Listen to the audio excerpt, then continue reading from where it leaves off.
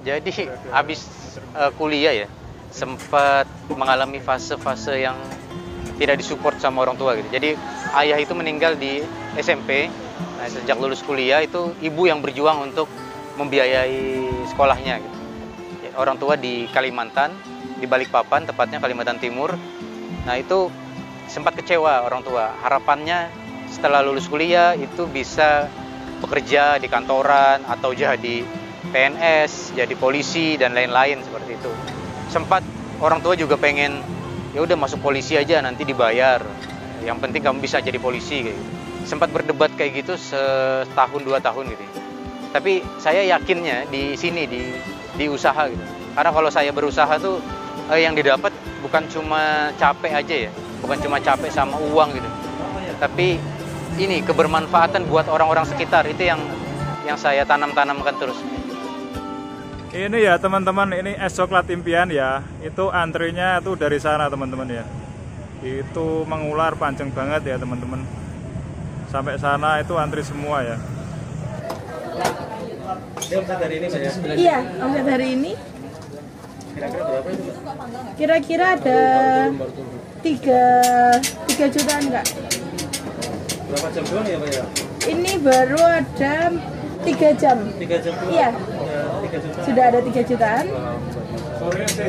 Sore aja kak. Mas ini lagi masak Mas ya? Iya. Ini masak ini berapa menit Mas? Bisa 5 sampai 10 menit. Pak. Perbandingannya sama airnya berapa mas? Mas? Kalau standarnya Eh. sekali sekali apa premix itu standarnya 5,5 liter. Kalau ditotalin sama air masaknya jadi 7 liter. Nanti ya Mas. Dicampur ya?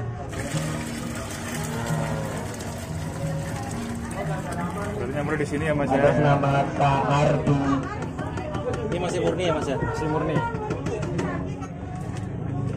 Ini apa Mas? Ini susu kental manis. Ini kalau di liternya 1.800 1.800 karena saya masaknya dua, jadinya dikali dua sama takaran satu.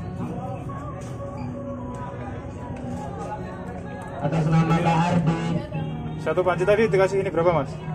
Satu pancinya jadinya totalnya 2,6 2,6 liter SKM. 2,6 liter SKM Iya. Nah, yang ini 800 ya mas ya. Ya 800.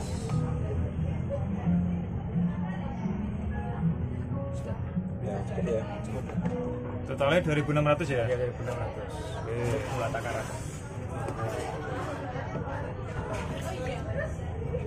Ini udah dikasih gula lagi Mas ya? Tidak. Berarti manisnya dari SKM ya? Ya, ini dari SKM.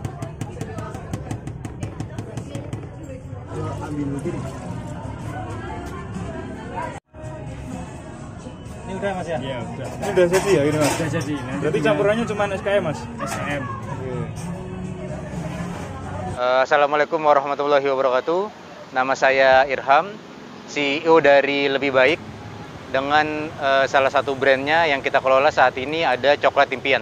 Eh, usaha Coklat Impian ini mulai dari bulan Maret, Maret 2022, sekitar enam bulanan. Ya. Mbak ini rotinya cuma satu jenis ya? Rotinya satu jenis tapi nanti variannya dijual. Jadi eh, dipanggang sama yang biasa. Oh ada yang panggang ada yang biasa. Iya. Nanti tergantung dengan permintaan customer sih ya. Ini berapa menit Mbak manggang gini Mbak? Kalau manggang biasanya 2 menit. Kata rotinya nanti dipanggang kembali. Terima kasih ya.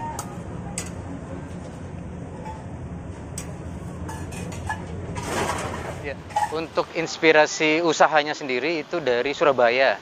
Karena waktu itu kita lihat di YouTube itu ada merek coklat tambah umur kalau nggak salah yang di Surabaya.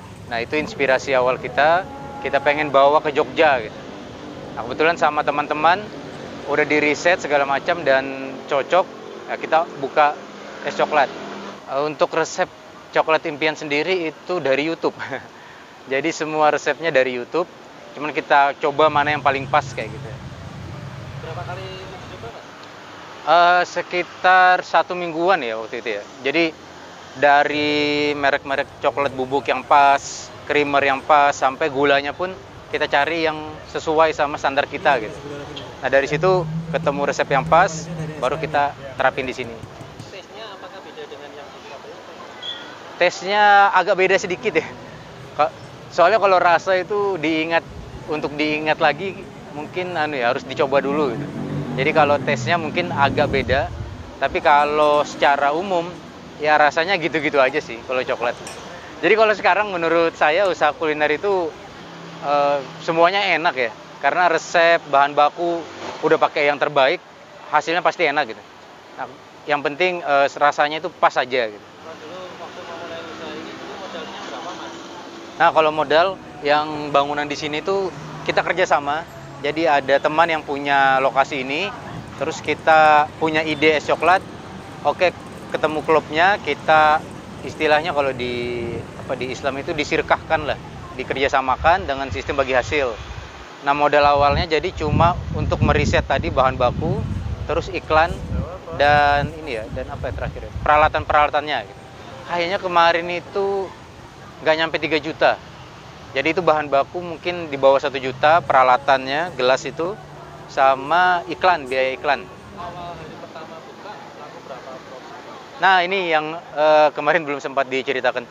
Jadi awal buka es coklat ini, karena lokasinya ini bukan lokasi yang jalur ramenya, trafficnya tinggi, nah kita strategi awalnya kita datangkan traffic dulu gitu. Jadi nggak mungkin orang tiba-tiba pengen nyobain produk kita gitu kalau kita nggak iklankan. Di awal tiga hari pertama itu kita gratiskan. Jadi es coklat impian tuh menggratiskan selama tiga hari tanpa syarat apa pun gitu. Jadi cukup datang tanpa perlu berdoa juga. Jadi cukup datang langsung cobain aja gitu. Setelah tiga hari itu penjualannya bagus.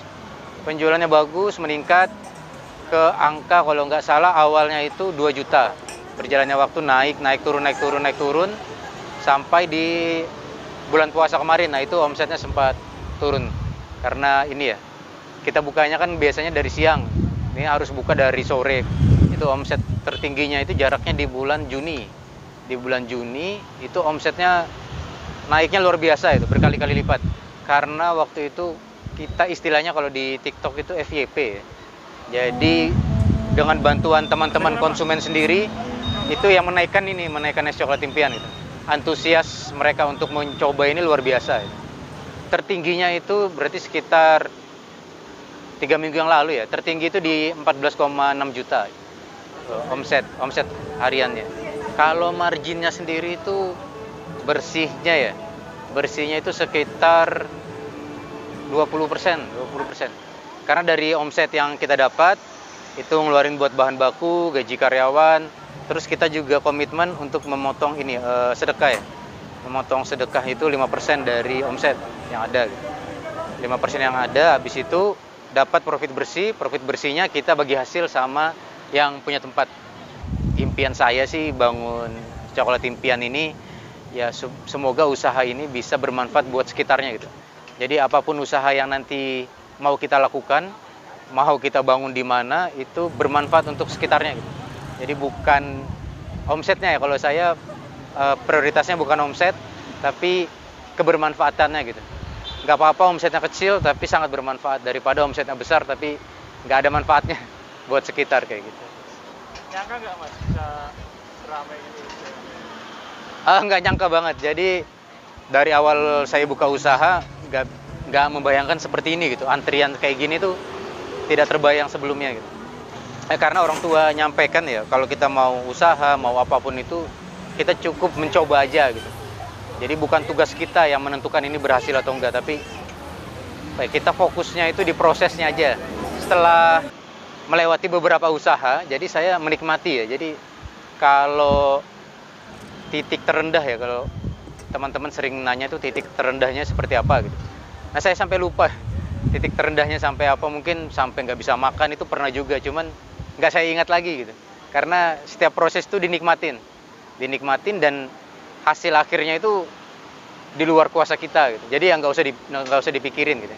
Pas pada saat buka usaha ini, dulu respon teman-teman sekitar gimana mas? ya sempat minder ya mas. Kalau misalnya teman-teman yang lulus kuliah teman-teman SMP atau SMA yang kalau di reuni-reuni itu kerjanya di sini di perusahaan-perusahaan yang besar perusahaan minyak perusahaan batu bara dan lain-lain. Kalau di Kalimantan kan perusahaan-perusahaan kayak gitu itu yang dianggap eh, lebih apa ya lebih keren lah gitu ya sempat minder tapi sejak saya ikut komunitas eh, pengusaha-pengusaha muslim itu saling menguatkan gitu.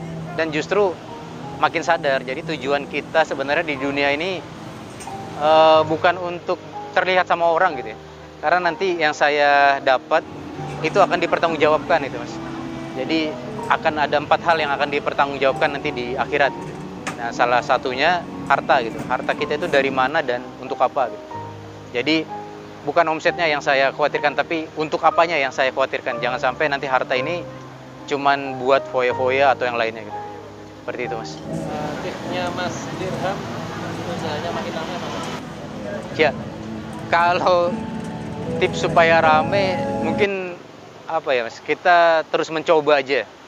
Apa pun itu kita coba. Begitu ada masalah langsung diselesaikan. Jadi begitu ada masalah, misalnya ada masalah di operasional, langsung diselesaikan. Jangan sampai biarkan berlarut-larut kayak gitu.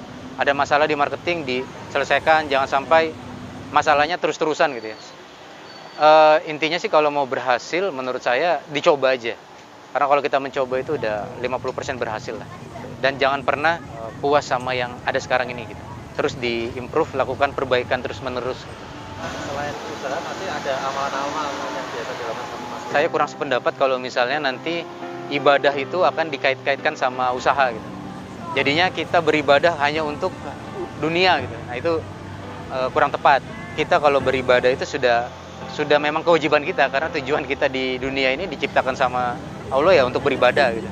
Kalau usaha ini ya ikhtiar kita aja untuk membuka pintu rezeki yang Allah sudah kamu kasih gitu kita. Nah kalau amalan-amalan khusus untuk di usaha itu menurut saya ya nggak ada ya. Paling ya niat kita berusaha apa gitu. Ya semoga bisa ini sih bisa memberi banyak manfaat ke orang-orang sekitar itu. Kalau ini makin rame, harapannya ya makin banyak orang yang terbantu mas. Dari kita nambah karyawan, terus warga-warga sekitar, terus apa ya? Ya harapannya dari video ini juga banyak teman-teman di luar sana yang sedang bingung mau usaha apa ya mungkin bisa coba usaha ini gitu. Gak harus pakai merek coklat impian, bisa bangun merek sendiri, terus bisa nyari resepnya di YouTube. Yang penting dicoba dulu gitu. Jadi kita nggak nggak males-malesan lah, nggak cuman tidur terus berharap rezeki datang kayak gitu. Karena kalau di firman Tuhan itu kan nasib kita akan berubah kalau kita bergerak gitu. Saat ini tuh coklat impian ada di Bantul sama di Karanganyar. Jadi ada tiga yang udah bergabung. Iya, itu mitra semua. Nah ini nih kalau ini es coklat yang panas nih. Nah kalau ini es coklat impian yang dingin kasih es. Wah mantap banget nih. Nah ini teman-teman ini roti panggang di es coklat impian di Lempuyangan. Ini rotinya homemade ya. Jadi bisa milih roti yang biasa atau roti yang dipanggang.